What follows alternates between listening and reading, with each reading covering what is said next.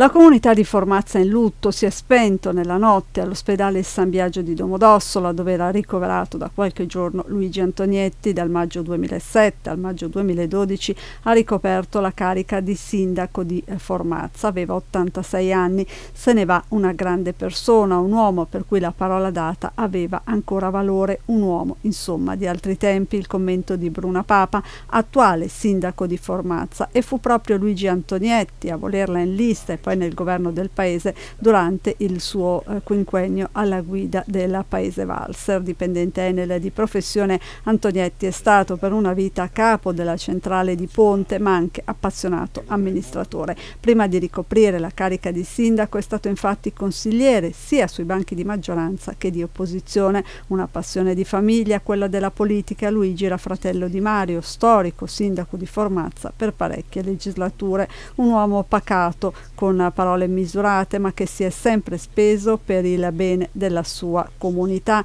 Le parole d'affetto che gli dedica oggi Bruna Papa anche a nome del paese. Luigi Antonietti lascia la moglie Silvana e i figli Nicoletta, Corrado e Lorena. Le esequie sono in programma sabato 20 aprile alle 10 nella chiesa parrocchiale di Chiesa.